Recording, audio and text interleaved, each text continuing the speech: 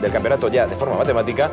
Real Madrid 56 puntos. Se abre descaradamente la lucha por la segunda plaza que da acceso a la Liga de Campeones, puesto que a un punto del Real Madrid están la Real y el Mallorca y a dos Celta y Athletic. Tras la zona europea, Atlético Madrid y Betis con 50 puntos, 48 para el Valencia, 46 para el Español, con 43 el Valladolid, 42 tiene el Deport, Zaragoza 41 puntos, con 38 Racing y Salamanca, los dos que han ganado y han salido de abajo. Abajo cae el Oviedo con 37. En promoción, Mérida 36 puntos y Tenerife 34. Y en descenso directo, Compostela 34 y el Sporting ya descendido con 12. Sí. costó tiempo incluso verlas, pero que dejaron huella. Lo vamos a ver. Fíjate, si no recuerdo mal, el último partido de Liga, o al menos uno de los últimos fue el Celta al Madrid el año pasado, ganó el Celta cuando el Madrid ya era campeón. 4-0. Y lo que ha cambiado, ¿eh? ahora el Celta puede ser segundo y jugar la Liga de Campeones. Primera oportunidad para el Real Madrid, que no empezó mal. El disparo final de Raúl lo, lo rechaza Dutruel. Ha montado un muy buen equipo de fútbol el Celta este año. Para entonces ya el Celta había tocado la pelota con clase, aunque sin crear claras oportunidades de gol. Es que arrancó muy bien el Celta, le puso un ritmo muy alto y en la primera parte sí respondió bien el Real Madrid. Pase revivo que remata Juan Sánchez al larguero. Le hemos visto rematar varios balones de cabeza este año. Es pequeñito, pero es muy rápido ahí en, los últimos metros. Casi lo pincha. El detalle en el caño de Mostoboy sobre Fernando Sanz. Para marcharse por la línea de fondo. La jugada acabó en nada. Tampoco es exactamente un caño eso. ¿eh? Bueno, la verdad, ¿eh? Fernando Sanz en carrera no es, lo, no está bueno, dejémoslo. Revivo. Continúa Revivo, le da el balón a Mostoboy y Mostoboy recuerda lo que le hizo al Barcelona así. Minuto 37, 1-0. Vaya pedazo de jugador, otro de los que no va a estar por desgracia en el Mundial, porque no se ha clasificado la selección rusa, aunque él no va a la selección, está peleado con el entrenador. Se lía la manta a la cabeza, ¿eh? porque dice, me voy a meter por donde no hay sitio. Y ni mira la portería, aunque sabe perfectamente, lógicamente, dónde está. Pero a mí me parece que no levanta ni siquiera la vista en ningún momento se marcha por el centro de toda la defensa y la clava. Esta gaviota fue también protagonista durante unos cuantos minutos en el partido. Taconazo de revivo que despeja Fernando Sanz. No se sabe muy bien. quizás es que Revivo quería jugar con, con la gaviota o Mostoboy, no sé. Y ojo a esa jugada. Amavisca remata y pide penalti. La jugada continúa y al cabo de unos segundos de González, a instancias del asistente, indica el penalti. El rechace había sido de Jorge Cadete, que inmediatamente se levanta la camiseta para enseñarle a Iturralde la marca del balonazo. Los jugadores del Celta rodean al asistente que ha indicado el penalti e Iturralde consulta. La verdad es que... Parece que le dan las dos manos. Esa es la sensación que da. Pero, ahí se ve que el balón da al pecho primero y luego a las manos, que pueden ser involuntarias. Cadete seguía enseñando el pecho. Ve cartulina amarilla. Los jugadores del Celta le decían a Iturralde, pero mira, lo vamos a ver más detenidamente. Fernando Hierro lanzó el penalti, era el minuto 45, estaba a punto de llegar el descanso. 1-1. Ceto Hierro solo lleva dos goles este año. Ha bajado en su cifra de otras temporadas. Así se llegó al descanso. Y fíjense, en la marca se ve el escudo del Celta marcado en el pecho de Cadete. La segunda parte tardó en comenzar porque esa gaviota... Esto a mí me pareció ridículo. Es que esperar a, cazar, a dar caza a una gaviota... Que no es fácil por otra parte. Sí, pero tampoco empezar el partido con la, con la gaviota jugando. Morientes, que de pequeño veía el hombre y la tierra, se acabó llevando un picotazo.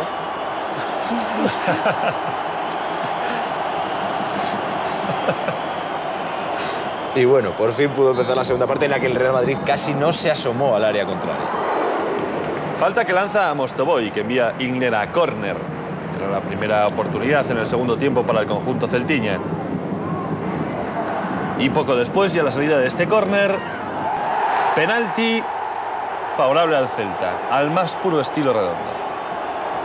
Como hizo en Vitoria no le vieron, como hizo en Tenerife le vieron, o muy parecido. A mí este me parece más suave que aquellos dos todavía. Lo que pasa es que, lo dijo mi compañero Manolama, Iturralde lo pita porque pitó el otro. Y como no estaba todavía muy seguro del primero, ahí, apartando al jugador del Celta de la trayectoria del balón, es como lo comete Redondo. Seguramente el jugador del Celta tampoco llegaba a la pelota. En fin, Mostoboy lanzó el penalti y marcó el 2-1. Minuto 56. Ocho goles lleva ya esta temporada. Si fuera más regular, eh, bueno, estaría ganando el Mundial con su selección directamente, claro. Porque es que es un genio cuando quiere. Los problemas que tuvo el año pasado de adaptación, ¿no? Otra oportunidad más para el Celta. Otra vez Mostoboy está crecido, ¿eh? le sale todo. Es lo que comenta la gente del, eh, del, seno del club, es que es un jugador quizá un pelín poco trabajador a veces. Un pelín o una melena, ¿no? Tono cariñoso, ¿no? Bueno, aparece entre, entre Sedorf y Raúl. Llega justito Sedorf, despeja Dutruel. Hizo muy poco el Real Madrid en la segunda parte, dos internadas de, de Sidorf. Cadete había visto la primera amarilla en el penalti que le señalaron por las manos al final de la primera parte y vio la segunda por tirarse dentro del área. Se quedaba el Celta con 10 para lo que quedaba de partido. La primera amarilla era injusta por lo que hemos visto. Pero la segunda, por lo que vamos a ver, parece justa. Pistinazo. Ahora, ¿qué artistas son? Porque es que la primera toma, crees que falta de hierro, ¿eh?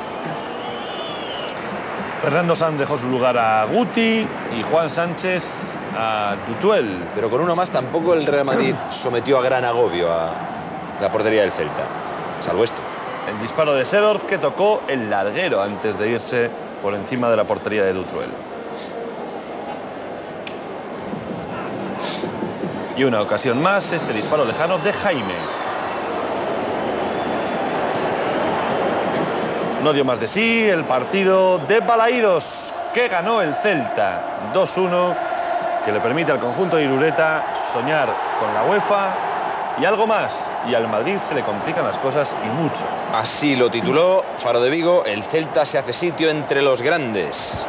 El diario, el diario AS titulaba hoy, continúa el calvario. Después del partido habló la estrella Mostoboy y también Heinkes. No, yo creo que contra Barcelona jugamos mejor, ¿no? Porque hoy, es otro partido, pero, pero 2-1 el resultado yo creo que es justo, ¿no? Nuestro objetivo es, jugar a Copa UEFA y nada más, no, no, no. Es Liga Campeones es para grandes equipos, ¿no? Celta todavía no es grande. Algunos días eh, casi todo el equipo eh, ha hablado de esa posibilidad de asegurar el segundo puesto y no, no se pueden fiar solamente en eh, la Copa de Europa de Campeones y por supuesto un equipo como Real Madrid tiene que pensar en la liga y eh, asegurar por lo menos el segundo puesto. psicológicamente, psicológicamente esta derrota en la que el Madrid se jugaba mucho, sobre todo para lo que dice usted, para, para intentar consolidar esa segunda plaza, ¿Esta derrota psicológicamente de cara al miércoles cree que le afectará al equipo? No, al revés. Ojalá que sea así. Mañana a las 5 de la tarde se marcha el Real Madrid hacia Dortmund. Se va con todos, incluso los lesionados, toda la expedición del Real Madrid. Millato y Xavi, que no jugarán, en principio viajan. Bueno, no jugarán salvo milagro de última hora. ¿Y qué Dortmund les espera? Pues uno que acaba de empatar. Sí, no está bien el Dortmund, es un equipo con grandes problemas. Empató en casa del Kaiserslautern, que es el líder, pero en, realidad es un buen resultado para el Dortmund. Un empate en casa del líder, pero jugó muy mal y, y, de verdad que estuvo a punto de llevarse una goleada estrepitosa. Por cierto, como Alemania está mejor organizada, jugaron el jueves, con lo cual llevan dos días más de descanso. Eso sí, es interesante destacarlo y comentar, bueno, que en el Este es el tanto que marca Freund, que no va a jugar contra el Real Madrid. En el Dortmund eh, parece que van a recuperar a Heinrich, también seguramente va a estar Moller, eso casi con toda seguridad. No va a estar Julio César, que está sancionado, eso seguro. Recuperan a Jürgen Kohler. En definitiva es un Dortmund mucho mejor del que vimos en el Santiago Bernabéu, que fue un equipo flojísimo. Un equipo que va a intentar imponer el, el ritmo del partido y va a salir muy agresivo. El partido se puede complicar si el Dortmund hace un gol, pero yo creo que el Madrid va a pasar la final y yo creo que incluso sin apuros, ¿eh? porque es muy superior. A ver si es verdad, pues ese era el empate del Kaiserslautern, el líder de la liga alemana que empataba en los últimos instantes del partido después de que el Dortmund, según las crónicas, en